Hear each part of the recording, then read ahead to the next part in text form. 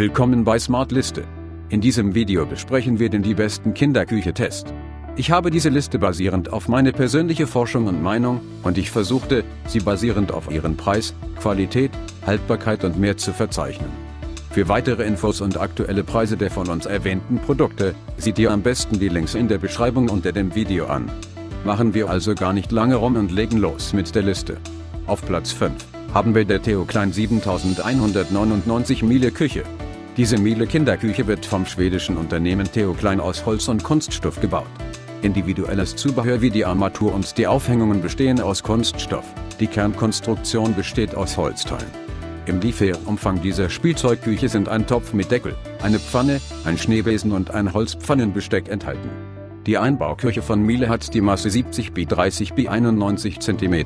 Die Höhe der Küche ist mit den schwarzen Füßen um ca. 5 cm verstellbar. Die Küche wächst mit. Umzug auf Nummer 4 haben wir der HPE 8018 Küchentraum.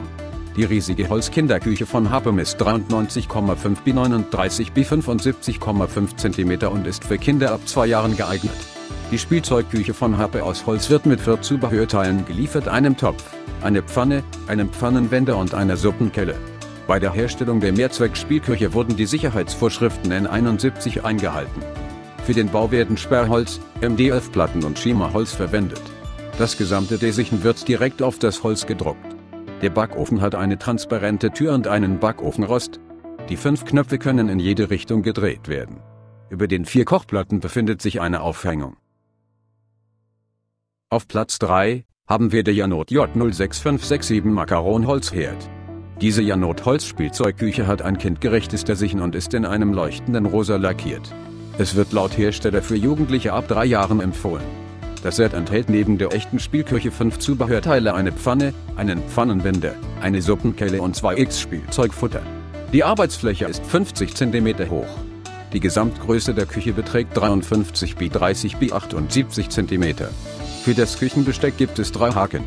Beim Drehen der beiden Drehknöpfe machen diese Geräusche. Auf zwei Kochplatten und im Backofen lassen sich köstliche Speisen zubereiten. Der Backofen und die Schranktür sind beide magnetisch verriegelt.